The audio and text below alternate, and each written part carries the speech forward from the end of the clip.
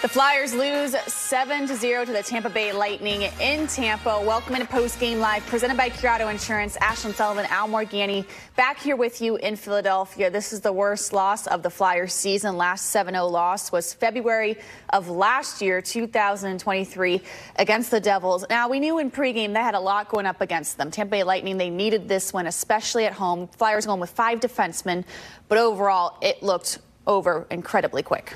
Ashlyn, the best part about this game was the last game. The fact that they beat Florida two nights ago meant, okay, you didn't you beat bonus time. You go in here if you manage to get a point or two. But boy, this was ugly. And you mentioned it. It starts with five defensemen.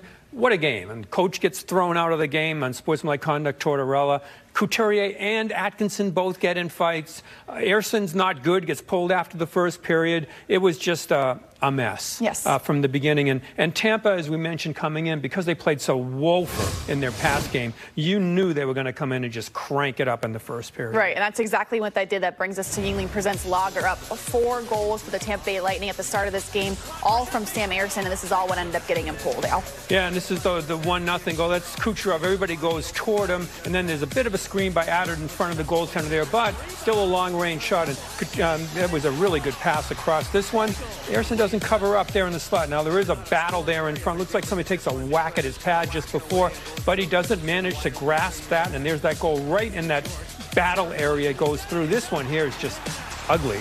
And that we rarely see that. I mean, Ersson's kept him in so many games early with, with good saves, and that just wasn't that just wasn't up to par from what we usually see from him. Three nothing. This is the power play. This is probably what got got the coach tossed because it was the questionable call on Attard, and then you just managed to send it over and blast the shot that gets through right there on a rebound. So four nothing goaltender switch right there. Sandstrom comes in, and the uh, you know the coaches had enough of everything tonight. Yes, he certainly did. And like we said, John Tortorella thrown out of this game in the first period. And we know John Tortorella, he gets incredibly fired up on the bench and very passionate. And what we believe is he didn't agree with a Ronnie Attard penalty. Yeah. But uh, yeah, because that power play is so good, and you could tell he wanted a piece of the, the official. Let you know, come over here. Right. I want to talk to you. And there's Konecny trying to get him to go over. No, he's not going to come over. I'm not leaving until you come over. Well, he used a little more colorful language than, than right there. Hey, come, right. you know, come over, and they were having none of it. Konecny couldn't get him to go over.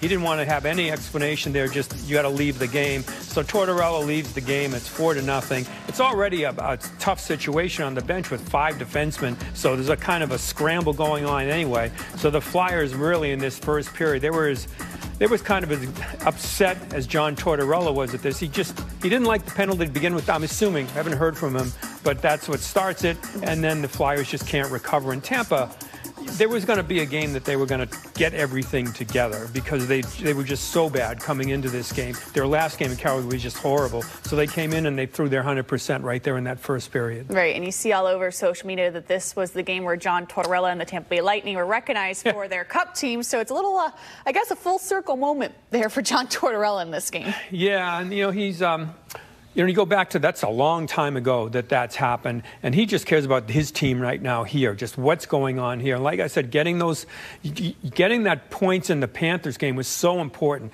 But still, to go in the way this was lost, the goaltender didn't have a good one. Ersson's been so good. And I think that shows you, Ashlyn, how important he's been to them mm-hmm. when they haven't had good first periods in terms of coverage or whatever. He's made the big save to keep them in. This game, he didn't make that save, and the game got out of hand pretty quickly. Right. And as we mentioned, the Flyers going with five defensemen today. You had York, Sanheim, Attard, Staal, and Johnson, the new guy.